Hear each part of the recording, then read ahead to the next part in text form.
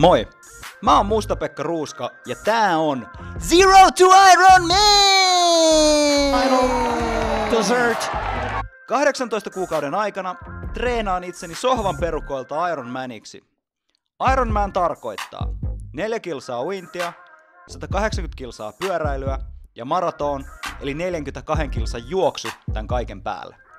Tänään tapaan ensimmäistä kertaa mun valmentajani Jan Buseen. Jan on ensimmäinen sertifioitu Ironman-valmentaja Suomessa.